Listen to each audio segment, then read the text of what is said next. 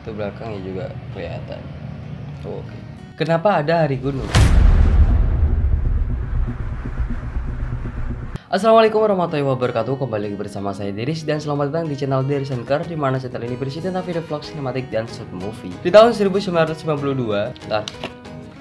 Di tahun 1992, PBB resmi mengikuti agenda tentang lingkungan dan pembangunan. Dan inilah yang menjadi tonggak awal sejarah perkembangan gunung di seluruh dunia. Di tahun 2002, PBB menyatakan sebagai tahun pegunungan internasional. Kemudian di tahun 2003, peringatan ini secara resmi disahkan oleh PBB. Dapat dikatakan, Hari Gunung Internasional pertama kali diresmikan pada tanggal 11 Desember 2003. Tujuan PBB memperingati Hari Gunung Internasional ini Tujuannya adalah menciptakan peluang kerja dan pembangunan gunung tersebut. Jadi itulah jawaban jadakannya Hari Gunung Internasional. Mungkin segitu aja video kali ini. Jika kalian suka dengan video ini, jangan lupa untuk klik tombol like share ke teman-teman kalian agar teman-teman kalian tahu apa yang kalian tahu. Dan jangan lupa untuk tombol subscribe-nya agar kalian dapat notifikasi video baru dari channel ini. Dan sekian dari saya, salam Deris. Panas.